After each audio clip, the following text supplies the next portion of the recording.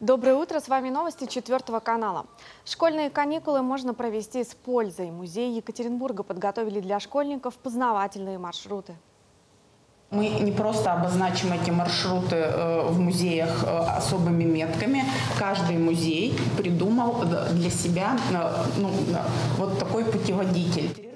Всего в фестивале участвуют 14 музеев и одна площадка под открытым небом на плотинке.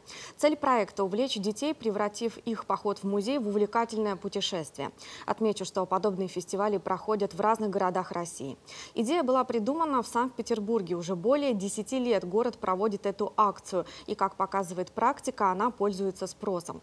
Фестиваль стартует завтра и продлится до 10 ноября. Вместе с билетом участникам выдадут путеводитель с заданиями для конкретных конкретного музея и карту. Выполнив все задания на одной локации, участник получит наклейку в карту. Если ребенок ошибся, это не страшно. Ошибки допускаются. Чем больше пройденных маршрутов, тем больше наклеек.